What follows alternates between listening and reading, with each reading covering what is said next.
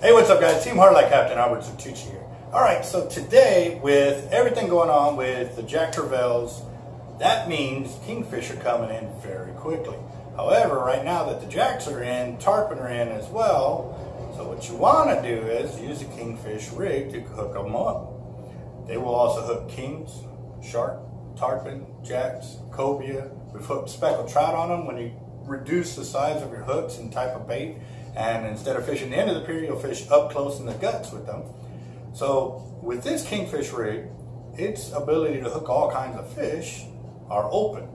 So what I'm gonna do is I'm gonna share how we have ours rigged up, the tackle we use for it as well, because surf weights is a major issue with them. If you're using improper surf weights, your slide line will never stick and it'll keep dropping on you and sagging and sagging.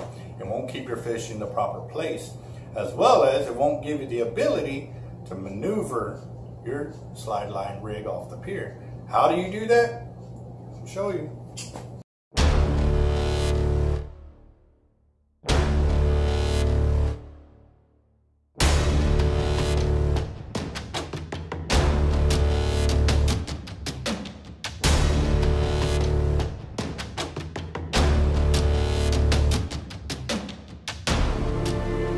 So here are some of our leader setups.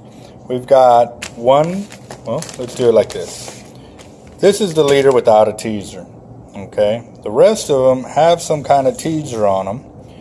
This one's our glitter, we got a pink, we got a pearl, and then we got a chartreuse pearl. And we actually have a red one as well, but we're sold out of it right now. However, these give you an idea of what they look like for the different variations that we have. We also started doing some circle hook ones, and then we've got the original old style with the J hook. So on these, this gives you an idea of the variety of leaders that you can actually choose from. Then our slide weights, of course, one ounce, two ounce, three ounce. We're missing the four, you got five and a six ounce here. But it just gives you an idea of what is available and what we can do. These are my stainless steel surf weights, and I just grabbed a small assortment of them and the 332nd, which is the lighter wire right here, I actually I go from a 3 ounce all the way up to a 12 ounce. And on my 1 8 gauge, which are the heavier ones here, I go from 7 ounce all the way up to 3 pounds. However, for casting, you're going to cast a weight that you can normally do easy. That way it can hold. And normally you start out at 330 seconds. On the days when you're trying to fight big waves and big surf to keep your braid out there, then you go to the 1 8 which this ones will also allow you to put out monster sized baits and keeping your line tight to get it far enough away from the pier. And this is the way we'll normally set it up. And you notice I angled my prongs up like that so that way when I put a lot of pressure on it, they'll bend back just a little bit, but not enough to bend back the wires. But this is a 330 seconds and these are the 1 8 So at, at the beginning, you got to try these and if the surf is that heavy and the waves are too big, then you go to the 1 8 But on these, you got to use a minimum of 50 pound test line on it so that way it doesn't bust on you when you're trying to break your weight loose. So that's your surf weight. I've gone over the slide weights and your, your rig, so let's get it done. Alright guys, so here's my King rig setup, and this is the Pro Series. The reason why it's called a Pro Series is because right here, instead of just going straight to my swivel, I actually got a snap swivel here. And this snap swivel allows me to detach my bottom hook section from my leader section. And the reason for that is because I sell these hook sections by themselves in a multi-pack. So that way, when this is deeply embedded into a kingfish or has been damaged too much by catching too many kings, which is normally a problem that everybody will have or that when you're catching a lot of fish. So instead of having to deal with the issue of cutting and breaking and doing it all right there on the pier, which cuts out of your fishing time, we have those blister packs. And the packages are made so that way when you're changing out, if they don't come with a teaser on it, there's three per pack. But if they do have a teaser on them, there'll be one per pack, and you're looking at that price range right there. And the reason for that is so that way, like I said, once you get set up and you're on the fish, you know and I know every time the kings come through, you're on a small window because then they will decide to stop biting. So if you're wasting an hour or two trying to rig back up, that's a lot of kings you could have missed out on in that time. So by having the extra hook sections available, you can detach, got the hook, okay, that fish is gone or that leader's messed up. Let's get it hooked back up and I'm back in the water. Now here's another improvement I've done too, is on my three-way here, I actually clip my slide line weight directly to it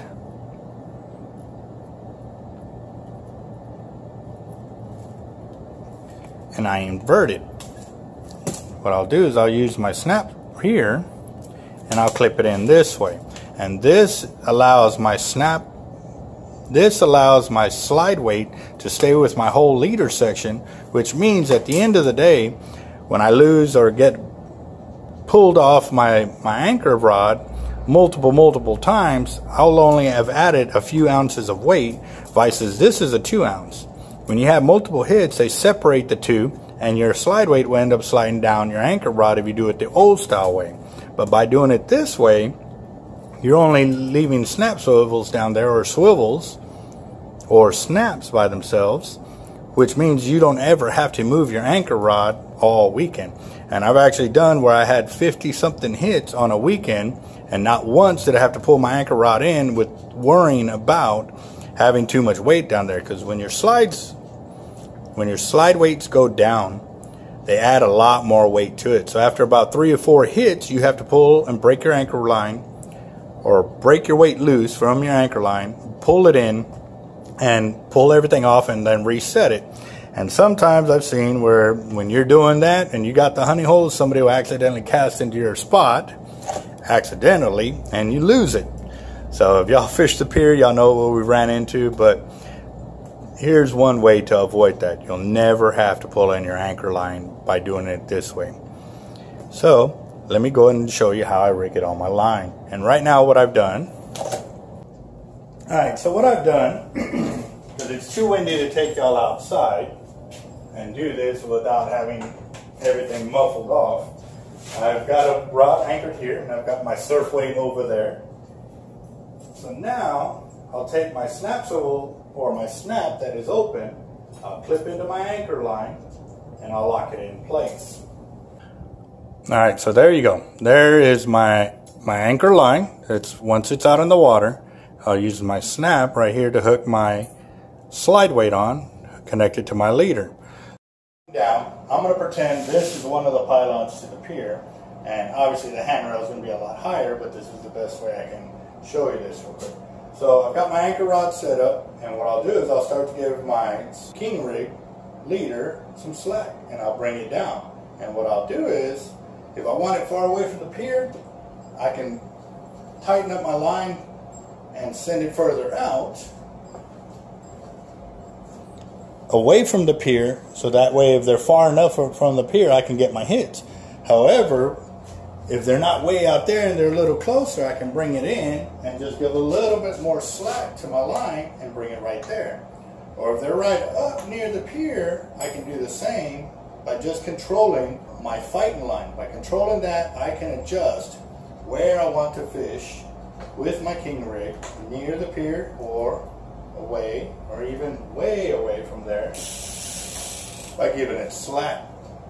So it just all depends on the size of rod you got for your anchor line, how heavy and strong enough your surf weight is to be able to hold it in place. And with your surf weight being able to hold the weight of your anchor line, because what this is, your anchor line is putting a lot of pressure out there. And if it's not able to hold that sand, the legs will bend out, give way, and your anchor rod will always keep dropping and dropping and dropping. It's because your surf weight is, is sliding. That, by going up to the stainless steel surf weights that we sell here, those will help keep it in place longer so that way when that fish hits it, here's the other thing too. When that fish comes up and takes this line, this is what ends up happening. It separates and there's your snap right there. Oh. There's your snap that'll stay there. And as you can see, it's already going down to the bottom. It's doing what it needs to do. And you can fight your fish off of here. Slide weight will stay there. and then on your next fish, you grab another snap swivel and you hook it right up. The next snap swivel, without moving your anchor up, open it up, clip right in, rebait your system, and then you send it right back out to wherever they're hitting. And that's the beautiful thing about this system is you can prejudge where you want to fish at. So you can fish up near the pier, a little further away, or farther away. Normally when I put slides out, I'll do out multiple ones, one up close, one far, and or I'll see what everybody else is doing and see where they're hitting at, and I'll try to mimic what they're doing. Because basically that's what's going on is they'll be hitting at certain distances. But at the same time too, if you're fishing into the wind or away from the wind, will also determine where the fish are biting at. So, all right, guys, here's our king rig setup and how we do it. So, y'all have a good one.